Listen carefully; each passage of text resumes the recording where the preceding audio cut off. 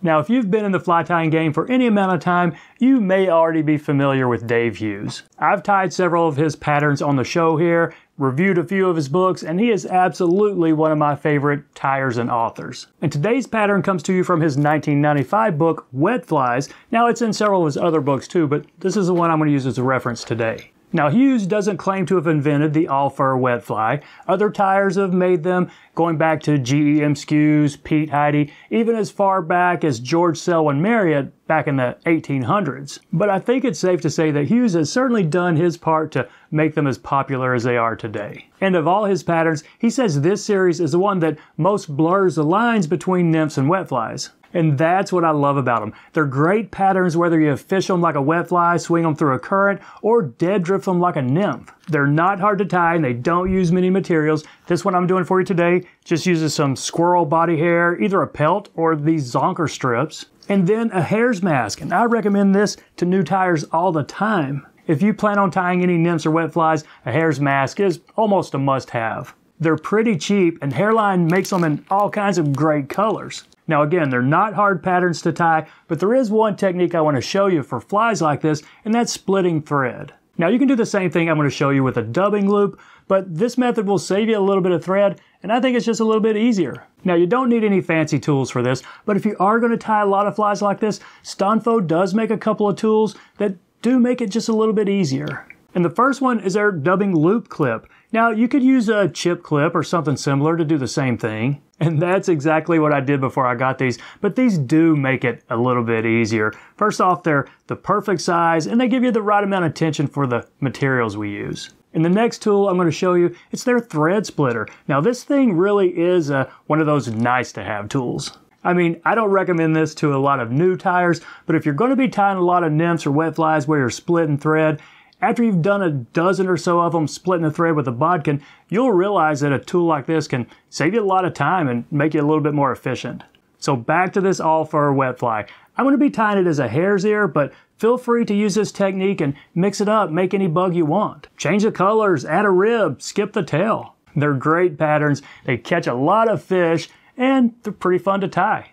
So there's one in the vise, a Dave Hughes hare's ear all fur wet fly. If you're thinking that's a buggy fly, you'd be absolutely right. It certainly is pretty buggy.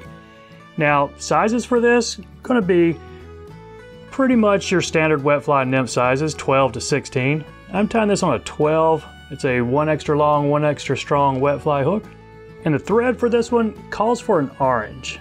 Now this is a burnt orange. I tried it with a regular orange and I didn't get very far because that was just way too orange. So I went with a burnt orange and I think it's going to look a little bit better. And this is a 140 denier. I Had to step up my thread size for one of the techniques I'm going to be showing you in a minute. Now for the tail, you're going to want to snip just a small tuft of fur right below the, the hare's ear, but right above the eye socket. So a moderate sized clump, let's go with about this right here, and I'm going to try to catch it in about a hook gap in length.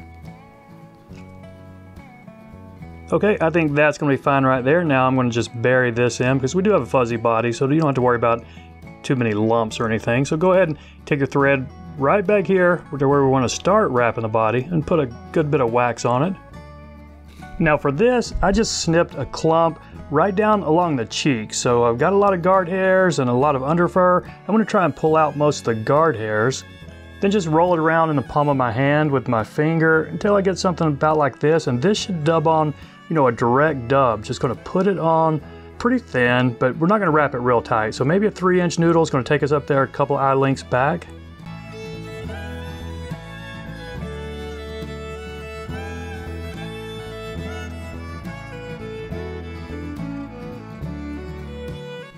Okay, mine was getting a little bit crazy up there on the front. Now here's something I've been doing. I don't take my dubbing brush to it because I don't want to pull it out too much. And since I wrapped it on here pretty loosely, I'm just gonna kind of rough it up and pull it out with my fingers here until I get a little bit of a fuzzy body. And I do have one little crazy one right there I'm gonna go ahead and snip. So that's the fuzzy body I want. But before I go to the next step, I'm gonna wrap this back just a little bit, give me some room for this next step. Now before the next step though, let's go ahead and prepare our squirrel fur dubbing. Now you could use this from a pelt. I'm using it from a zonker strip, makes it just a little bit easier. And I'm going to use this Stonfo clip. This is a one inch clip, so this is a small size. You can use any kind of clip you want, a chip clip or um, office supply clip, really anything. is going to work for you. And what you'll want to do is just grab it, pinch it kind of close to the, the pelt right there, and we're going to snip it off right there, about one half inch of material. So now, there we go, I've got about a half inch of this squirrel fur in my clip. I'm going to set that to the side. And now we're going to split this thread. And what I do here, I just pull my thread up and then I'll put it up where you can see it and see which way it's going to naturally start spinning. So this one is counterclockwise, so I know that spinning it counterclockwise is going to flatten it out. So I'll give it about, let it spin, oh, 10 times or so. And now our thread is starting to flat out. You see that? So what you can do here, you can take your bodkin and just pull it up and then try to split it right in the middle. And so we, that's uh, pretty close to in the middle right there. You don't always get it the first try, but you know, a couple of tries and you can probably get it fairly evenly split. But now if you're going to be tying a lot of these flies, let me introduce you to this tool. This is Stonfo's thread splitter. And how this one works, you see that? That little V right there, uh, it's got spring loaded and when you pull down, a needle pops up in it. So what we do here, we just lift this up and then put this tool right up in there and it might take a couple of tries to get it but we just do that right there. And that one split pretty evenly first attempt. So hold it you know apart with your fingers. Let's pull a little bit more thread out right here. And I am going to put some wax on this before I put this squirrel fur in it. And here's my clip with this squirrel fur. And I'm just going to lay it right in between it and then let this thread, you know, grab it. Now we are going to spin it, but not yet because that's not positioned exactly how we want it. I'm going to kind of pull these out and get them about right in the middle. And I'm also going to spread it out. This was only about a half an inch of material and I'm going to spread it out to about an inch, maybe an inch and a half before I spin this.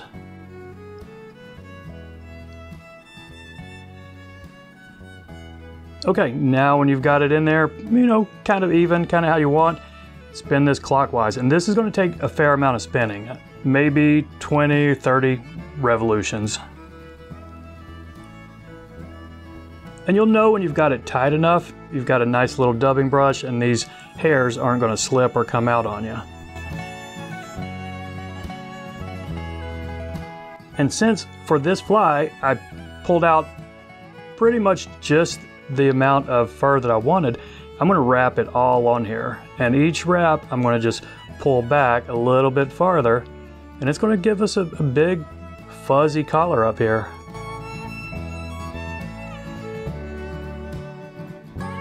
Now there's fuzz going all over the place, but are we gonna be able to clean up that head and keep an eye open to get our tippet through?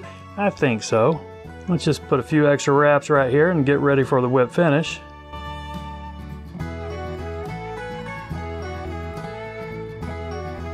Now cleanup on a fly like this is probably nothing. Just make sure you, you know, you haven't clobbered your eye. You can still get your tippet through there and then put a drop of head cement on it. You might even want to rough it up. If you didn't make it fuzzy enough, take your dubbing brush and fluff it out even more. So that's it. Pretty simple pattern, but a nice technique to know how to do with splitting thread like that. So I appreciate you watching. Y'all take care. We'll see you next time.